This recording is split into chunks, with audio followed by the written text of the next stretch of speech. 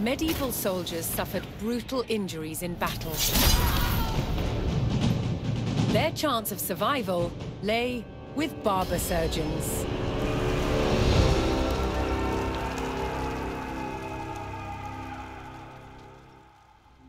From cutting hair to removing limbs on the battlefield, the job of a barber surgeon was varied, and so were their tools.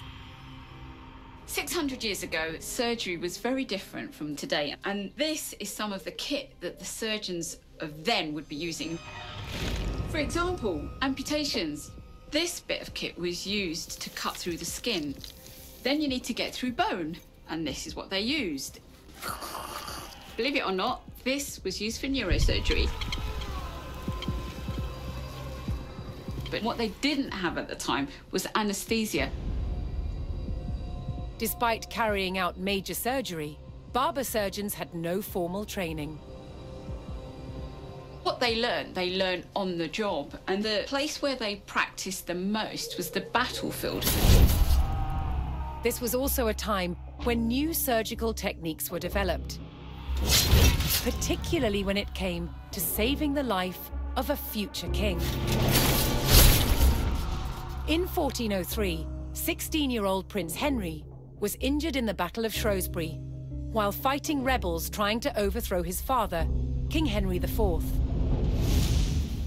The arrow penetrated his right cheek and became lodged at the base of his skull. He was very lucky it didn't kill him instantly. Prince Henry pulled the arrow from his face. The shaft came out, but the arrowhead remained lodged inside. They needed to get that out before infection set in and killed him. To the rescue, celebrated surgeon John Bradmore. Bradmore recorded what he did to save the prince's life, including a picture of the tool he made to extract the arrowhead. And it works by ensuring that the tip is closed and then inserting it along the track caused by the arrowhead until it meets the arrowhead. Then the screw is turned to expand the tip, locking it in place inside the arrowhead. And then ever so slowly and gently, you extract, making sure that you don't lose it along the way.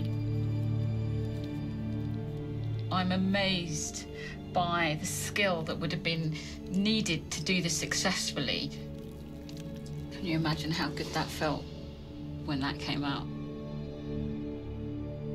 The young prince survived to become King Henry V, hero of Agincourt. But perhaps the real heroes of medieval medicine were the barber surgeons, who saved countless lives on the battlefield.